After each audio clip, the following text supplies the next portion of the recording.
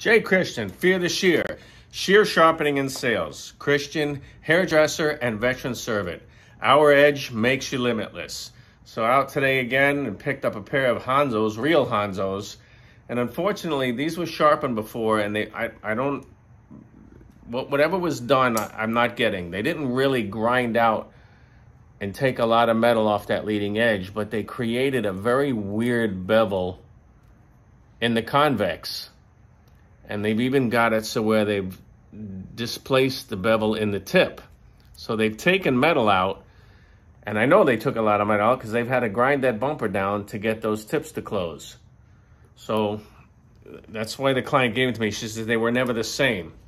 Now, as I'm cutting with these, they're cutting, but it's not a Hanzo soft cut. There is some some resistance in that cut, a little crunchiness. So we'll get that fixed up. Jay Christian, Fear the Shear, back with that real pair of Hanzos, real pair of Hanzos, by the way.